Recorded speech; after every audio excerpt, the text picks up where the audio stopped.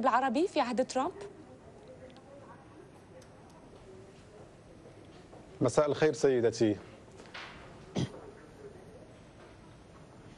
هل تسمعينني؟ نعم أنا أسمعك هل سمعت السؤال؟ هل تسمعينني سيدتي؟ أعيد عليك السؤال من جديد أستاذ نعم. محمد نعم لو طيب سمحت سيدتي أمام نعم. هذا نعم. المنعرج الذي تشهده واشنطن برأيك هل سيكون هناك اهتمام أمريكي متزايد بالمغرب العربي في عهد ترامب؟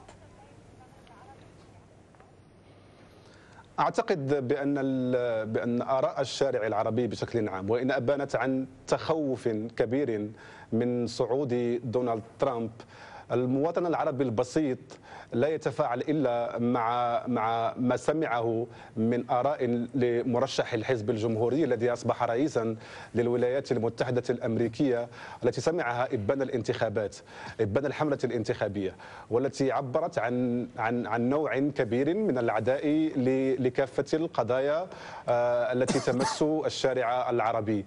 هذا هذا التخوف لدى الشارع العربي ال- ال- العادي لدى المواطن العربي البسيط.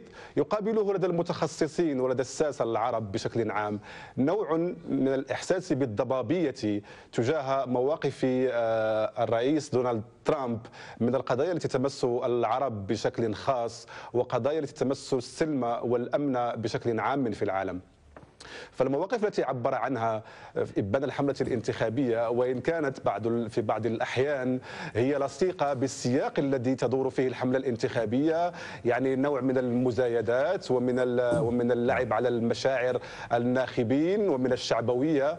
ف- فإنها بشكل عام عبرت عن عن تخوف وعن ضبابية من المواقف التي سينهجها دونالد ترامب حال صعوده وحال توليه الرئاسة ال- بشكل فعلي ابتداء من الغد. فمواقفه من القضية الفلسطينية مثلا والتي تعتبر طيب. ال- ال- القضية المحورية لدى الشعوب العربية. آه، نعم. سيدي.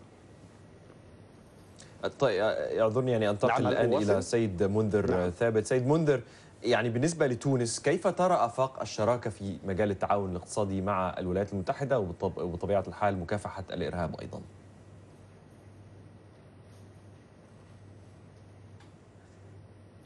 اولا في البداية أود أن ألفت الانتباه إلى مسألة أن الرئيس الأمريكي له دور مؤثر في رسم السياسات العامة والسياسات الخارجية.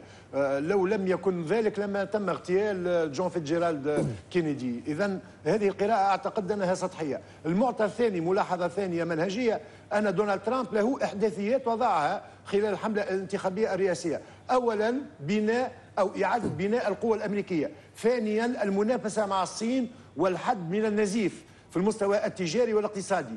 ثالثا مواجهة الإرهاب وملاحقة الإسلام السياسي. ثالثا أو رابعا آه، تهميش دور الناتو أو إعادة تحديد حلف الناتو في علاقة بالاستحقاق المالي وما تدفعه الولايات المتحدة الأمريكية على حساب دافع الضرائب. في علاقة بالمنطقة العربية النقاط واضحة بالنسبة لخريطة طريق دونالد ترامب. النقطة الأولى في علاقة بإسرائيل الرجل كان أكثر من واضح والمكلفة بوكالة مندوبية الإدارة الأمريكية أو الولايات المتحدة الأمريكية بمجلس الأمن أعلنت منذ أيام بأن الإدارة الأمريكية الجديدة تعتزم نقل السفارة إلى القدس من تل أبيب إلى القدس. في علاقة بتونس الساحة منقسمة. ساحة منقسمة إلى معسكرين. معسكر يتبع الإدارة الديمقراطية لأوباما والربيع العربي وشبكات جورج سوروس وفريدوم هاوس. وبالتالي هذه الشبكة وهذا المعسكر يعتبر أن ما حصل ثورة. دونالد ترامب في رده وفي آه، صياغته لموقفه يعتبر أن لا تدخل في تغيير لتغيير الأنظمة آه، أنظمة الحكم في أي بلد من البلدان وبناء على ذلك حالة من الترقب في علاقة بالموقف النهائي من الإسلام السياسي طيب. بعض التسريبات من محيط الرئيس المنتخب دونالد ترامب تقول بأن هنالك استهداف للكويت تونس والمغرب حكومة بن كيران إذا إيجاد لائحة من التنظيمات التي قد تكون ساهمت في اجتماع السودان سنة 94 والتي يتهمها ترامب بالضلوع نعم. في تمويل وتغذية وإيجاد الغطاء الإيديولوجي والسياسي للإرهاب هذا أمر يعني آه، يمثل مجال صراع محتدم داخل الساحة طيب، السياسية. التونسية الجبهة دعني الثانية أنتقل من جديد إلى أستاذ محمد تفضلي يعني أستاذ محمد واشنطن دوما ما تؤكد على رغبة ملحة في تطوير أشكال التعاون الأمني لمكافحة الإرهاب. ما هي برأيك التحولات المنتظرة في المرحلة المقبلة؟ وبعجالة من فضلك. سيدتي قبل أن نتحدث عن ترامب نتحدث عن انخراط مغربي ملتزم وقوي في محاربه الارهاب وفي التنسيق الأمني سواء مع الدول الأوروبية ومع الدول ومع ومع أمريكا. المغرب له تجربة طويلة الأمد في محاربة الإرهاب وفي وراكم تجربة ميدانية آه، في في تفكيك الخلايا من من منذ من بدايتها وتبنى استراتيجية استباقية لمواجهه لمواجهة الإرهاب. أظن انه ان أن هذا خيارا استراتيجيا مغربيا والرئيس دونالد ترامب سيستفيد لا محالة من التجربة المغربية في هذا المجال خاصه خاصة وخاصه وأن المنطقة تعرف تصاعد تصاعد- تصاعدا للمد الإرهابي والمد المتطرف في المنطقة المغربية ودول الساحل.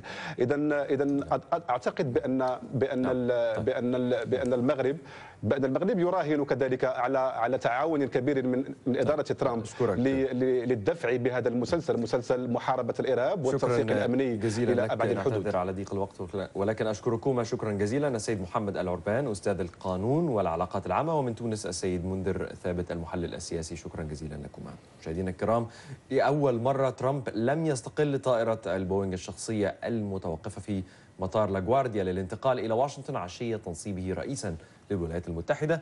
كيف هو المشهد الآن يا مروان؟ باسل 20 مليون شخص على مواقع تويتر يتابعون كل حركات وتحركات دونالد ترامب.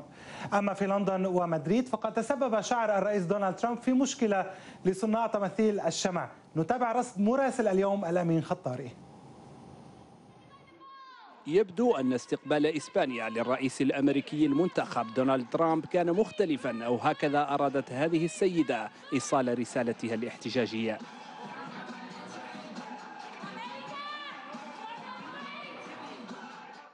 ترامب من الشمع بمعايير فنية أندلسية في قلب مدريد والأكثر صعوبة وتعقيدا كان محاكاة شعر قاطن البيت الأبيض القادم. من الأشياء التي تميز ترامب شعره هو طريقة تسريحته إضافة إلى الألوان الملفتة. لهذا عملنا لوقت طويل على تصميم ألوان تمزج بين الأبيض والفضي وتناسب تسريحة الشعر.